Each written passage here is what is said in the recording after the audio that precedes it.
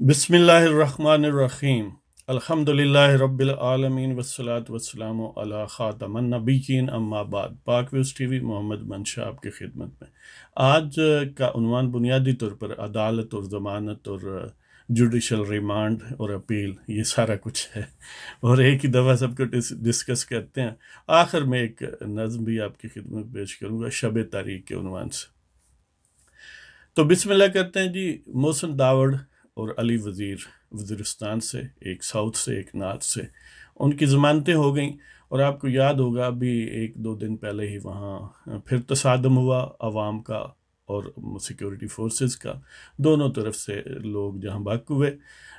اور مزید ظاہر ہے نگوشیشنز اور مشران کی مداخلت وغیرہ وغیرہ جاری ہے۔ تو مطلب یہ ہے کہ حالات سٹیبل اب بھی نہیں ہیں۔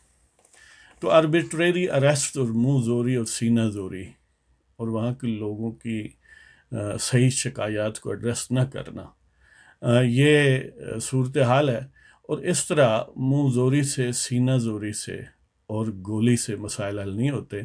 اگر حل ہو سکتے ہوتے تو پچھلے اٹھارہ، انیس سال سے جب سے جنگ و جدل جاری ہے اور دونوں طرف سے بے پناہ ہلاکتیں ہو چکی ہیں ان میں میٹیریل نقصان ہوا ہے، بہت زیادہ پاکستان کا۔ لیکن بہرحال ہم پھر بھی یہ معاملہ جاری رکھے ہوئے ہیں۔ اور لوگوں کے نمائندوں کو ڈی گریڈ اور ذلیل کرنا شاید اپنا فرض اولین سمجھتے ہیں اور اس کے نتائج آپ دیکھ سکتے ہیں۔ کیونکہ یہ لوگ غدار تھے جن کو پکڑا تھا۔ پہلے نہیں تھے، پھر غدار بنے۔ اب شاید پھر نہ رہیں۔ تو بہرحال اب آگے چلتے ہیں جی مریم اور اس کے کزن جو ان کے چچا عباس کے بیٹے ہیں۔ یہ چودھری شوگر مل کے سلسلے میں ان کے جوڈیشل ریمانڈ میں توسیع کی گئی آٹھ روز کے لیے۔ حمزہ شہباز شریف جو ہیں ان کے جوڈیشل ریمانڈ میں چودہ دن کی یعنی ان کو زیادہ حصہ دیا گیا توسیع کی گئی۔ تو یہ ان کے آرڈیلز ابھی کام یا ختم نہیں ہوئیں لگتا ہے کہ tormentors are still determined to keep them behind the bars ظاہر ہے موجودہ حکومت اور ان کے جو آشیا بردار ہیں یہ کرونیز جو ہیں جی یا جن کے یہ کرونیز ہیں، تو وہ اس طرح دھونس دانزلی سے اور سینہ زوری سے معاملات چلاتے ہیں، جیسے رانا ثناء اللہ کی جیب سے ایٹم بم برآمد کیا تھا۔ اور پھر اس کی جیسی سماعتیں ہو رہی ہیں، وہ آپ جانتے ہیں کہ ججوں کو کان سے پکڑ کر نکال دیتے ہیں۔ کمرہ عدالت سے کہ اب آپ نہیں سن سکتے، کیونکہ انہیں نظر آتا ہو کہ یہ کہیں انصاف ہی نہ کر دے اور تھوڑا زیادہ تفصیلی جائزہ لیتے ہیں۔ العزیزیہ ریفرنس کیس میں جو نواز شریف کو سزا ہوئی، جس سلسلے میں وہ ظاہر ہے اس وقت جیل میں سزا بھگت رہے ہیں۔ اس کی اپیل اسلام آباد ہائی کورٹ میں اس کی سترہ تاریخ کو ہیرنگ ہوئی اور ظاہر ہے اس میں یعنی دونوں طرف سے حضرات پیش ہوئے نیب نیب کی طرف سے بھی، اور خواجہ عارث نے پٹیشنرز اپلانٹ کو ریپریزنٹ کیا۔ ایک تو نواز شریف کی اپیل ہے، دوسری نیب کی طرف سے بھی ایک سمجھ لیں کہ اپیل ہے کہ وہ کہتے ہیں سزا تھوڑی ہے۔ ہاں جی؟ تو بہرحال خواجہ حارث نے کہا کہ مجھے جو پیپر مہیا کیے گئے وہ انکمپلیٹ ہیں۔ تو یہ دو رکنی بینچ ہے، محسن حسن اختر کیانی۔ اور جسٹس عامر فاروق، جسٹس عامر فاروق جو ہیں، وہ اس ڈویژن بینچ کے سربراہ ہیں۔ تو انہوں نے تو کوشش کی کہ خواجہ حارث دلائل کی طرف آئیں، لیکن خواجہ حارث کا موڈ نہیں تھا، وہ تیزی میں نہیں تھے۔ تو لگتا ہے کہ وہ بھی تھوڑا سلو یا لو برنر پر رکھنا چاہتے ہیں اور موسٹ پروبیبلی یہ کہیں مہینے لگیں گے اپیل میں دلائل وغیرہ دینے میں، کیونکہ ابھی وہ کہتے اس یعنی پیشی پر یہ بات ہوئی کہ ہمیں ایک تو پیپر انکمپلیٹ ہیں جو ملے ہیں اور دوسرا ہمیں مصدقہ کاپی چاہیے جو وہ ویڈیو سکینڈل ہے، ارشد ملک سابق اکاؤنٹ اکاؤنٹیبلٹی جج کا۔ اس کی حلفیہ بیان کی جو کاپی ہے اور پریس ریلیز ہے، جو اسلام آباد ہائی کورٹ کی طرف سے بھی جاری ہوا اور ارشد ملک کی طرف سے بھی۔ تو یہ ساری ڈاکومنٹس جو ہیں، وہ مصدقہ نقول ہمیں چاہیے۔ اور یہ مصدقہ نقول، ان میں سے کچھ جو ہیں، وہ نیب والوں نے بھی مانگی ہیں۔ تو باہر لگتا ہے کہ یہ ایک خاصی لمبی بات ہوگی۔ اور کورٹ کا ٹرینڈ یہ ہے اس وقت کہ یہ پراپر جو مین اپیل ہے اس پر دلائل دیں۔ لیکن جو اصرار کیا خواجہ حارث نے، وہ یہ کیا کہ ہمیں وہ جو ارشد ملک کے ریلیونٹ مواد ہے یعنی ان کا حلفیہ بیان اور پریس ریلیز وغیرہ، جب تک وہ نہ ملے ہم شروع نہیں کر سکتے۔ تو وہ اب سات اکتوبر تک جو ہے وہ شاید پوسٹ پون ہوگی ہے، نیکسٹ ہیئرنگ جو ہے وہ اکتوبر سات کو ہوگی۔ تو بدقسمتی سے یہ بھی افسوسناک خبر سنی کہ خواجہ حارث جو ہیں ان کو دل کا دورہ پڑا اور دو سٹینڈ ڈلے، لیکن ان کی حالت جو ہے وہ اسٹیبل ہے۔ اللہ تعالیٰ ان کو صحت دے۔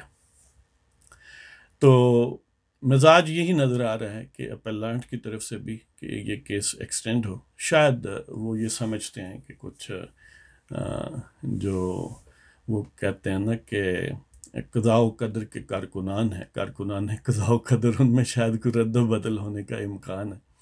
ایک تو یہ ہے کہ یہ جو ہمارے اس وقت چیف جسٹس صاحب ہیں، وہ اکی دسمبر کو ریٹائر ہوں گے۔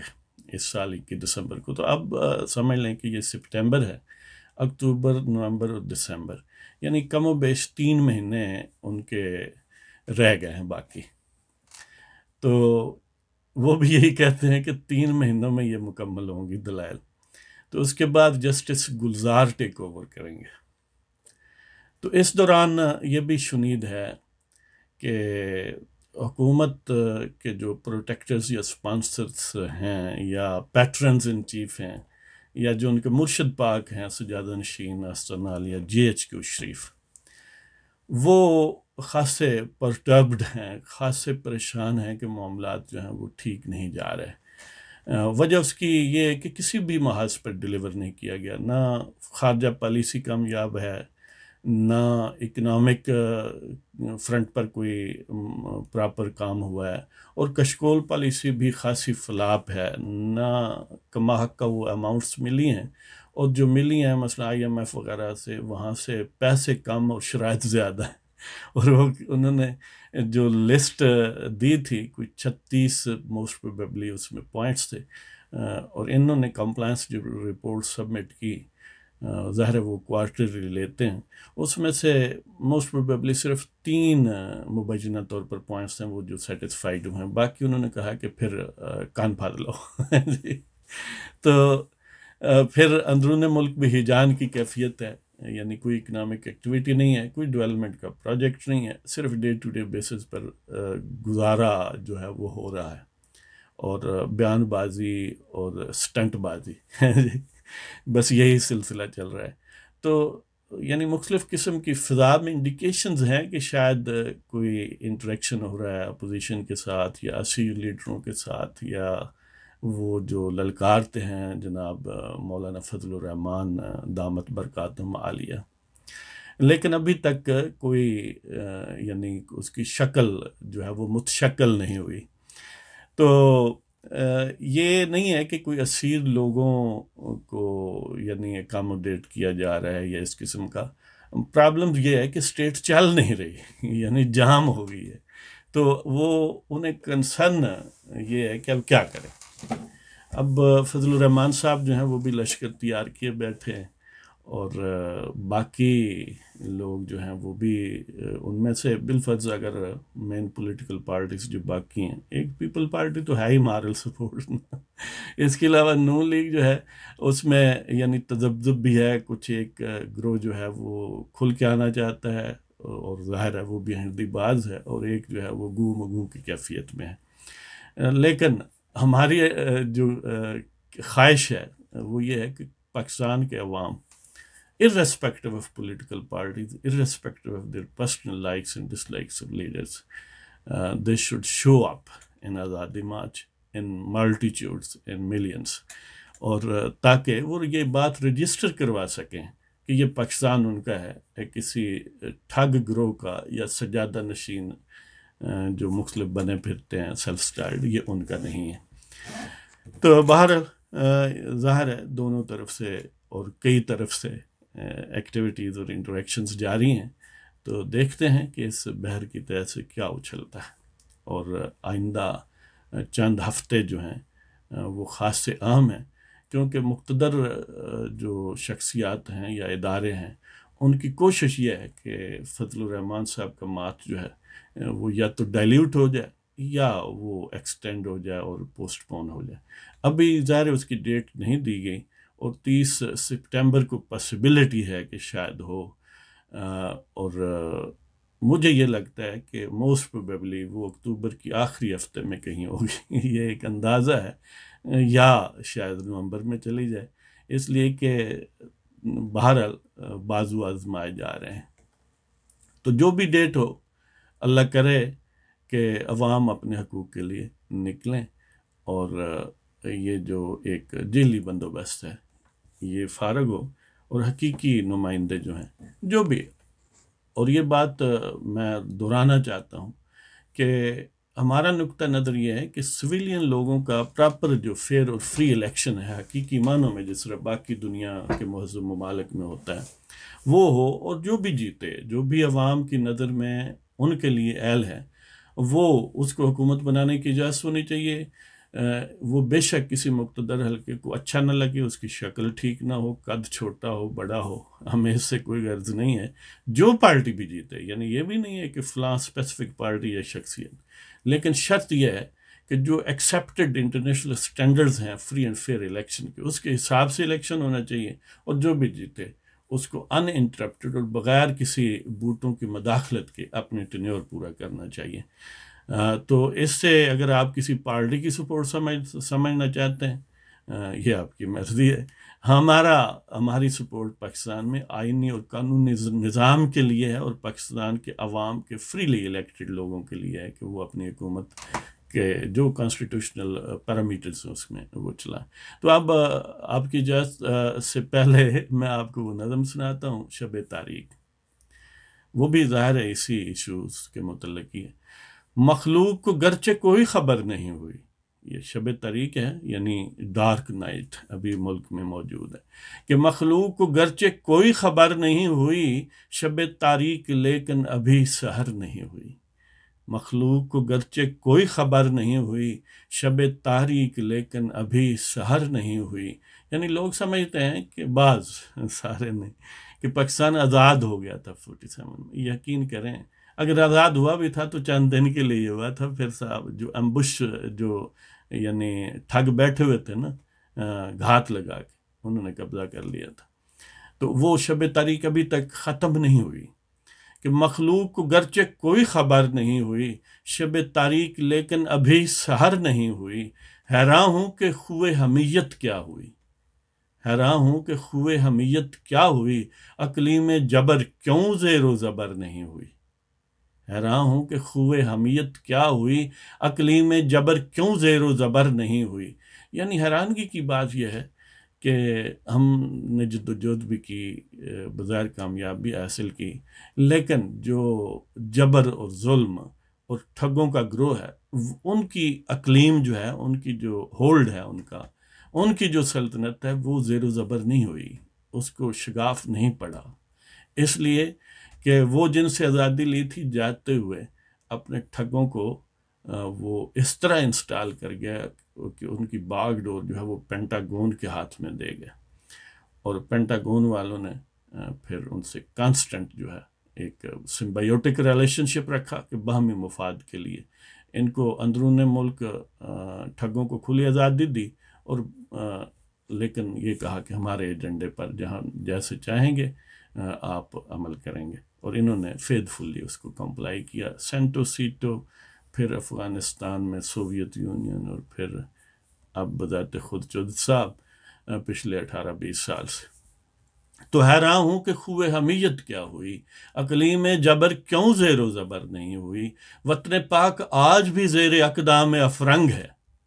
روح جعفر و صادق اب تر نہیں ہوئی۔ یعنی وطن پاک میں آج بھی وہ جو سامراجی لوگ تھے، جو اس وقت کی سپر پاور تھے۔ ان کے اور پھر ان کے سکسیس جو آج کی سپر پاور ہے۔ ان کے قدموں تلے ہیں۔ اور ان کے قدم جو ہیں وہ بوٹوں کی صورت میں ہیں پاکستان میں۔ ان کی انٹرسٹ کے سب سے بڑے پروٹیکٹر وہ ہیں، جو سجادہ نشین ہے پنڈی میں۔ تو، یہ جو میر جعفر اور میر صادق تھے نا، جعفر از بنگال، صادق از دکن، وہ اب تک نہیں گئے۔ یعنی وہ اولاد نہیں رہے، ان کی روحانی اولاد آج بھی برسر اقتدار ہے۔ لہذا انہوں نے جو اس وقت گٹھ جوڑ کیا تھا، وہ آج تک جاری ہے۔ کہ وطن پاک آج بھی زیر اقدام افرنگ ہے، روح جعفر و صادق اب تر نہیں ہوئی یعنی بے اولاد نہیں رہی۔ پنجابی میں کہتے ہیں، اوتر اوتر نہیں گیا روح۔ میر جعفر اور میر صادق۔ تو نشانات اشاک دشت میں ہیں تو صحیح۔ نشانات اشاک دشت میں ہیں تو صحیح۔ میرے دوست تیری آنکھ لیکن تر نہیں ہوئی۔ یعنی ٹھیک ہے، یہ یعنی ان کے، ان کا گٹھ جوڑ موجود ہے اور پنجے جو ہیں، وہ خونی پاکستان کے باڈی پولیٹک میں پوری طرح نصب ہیں۔ پاکستان کے جسد وطن میں پاکستان کے جسد ریاست میں پوری طرح وہ انگلیاں انہوں نے اس میں ڈبوئی ہوئی ہیں۔ لیکن اس کے باوجود کچھ نشانات ایسے ہیں جہاں سے عشق جو ہے وہ بظاہر نظر آتا ہے۔ اگرچہ خال خال ہے، لیکن ہے صحیح اس لیے مکمل مایوسی بہتر نہیں ہے۔ تو اس عشق پر توجہ دیں کہ نشانات عشق دشت میں ہیں تو صحیح۔ یعنی جس طرح وہ اپنا کیس تھا نا تو دشت میں پھرتا تھا۔ تو گویا وہ چلتا پھرتا عشق کا نشان تھا۔ تو اسی طرح یہاں بھی کچھ کیس چھوٹے موٹے ہیں۔ لیکن بعض لوگوں کو نظر نہیں آتے۔ کاش وہ نظر آئیں اور ان کی قدر کریں۔ نشانات اس شاک دشت میں ہیں تو صحیح۔ دوست میرے، تیری آنکھ لیکن تر نہیں ہوئی۔ مخلوق کو گرچہ کوئی خبر نہیں ہوئی۔ شب تاریخ لیکن ابھی سہر نہیں ہوئی۔ حیران ہوں کہ خوئے حمیت کیا ہوئی؟ اقلیم جبر کیوں زیر و زبر نہیں ہوئی؟ وطن پاک آج بھی زیر اقدام افرنگ ہے۔ روح جعفر و صادق اب تر نہیں ہوئی۔ نشانات اس شاک دشت میں ہیں تو صحیح۔ میرے دوست تیری آنکھ لیکن تر نہیں ہوئی۔ تو اس کے ساتھ ہی آپ کی اجازت چاہتا ہوں۔ خدا حافظ اور پاکستان زندہ باد، پاکستان کے عوام زندہ باد۔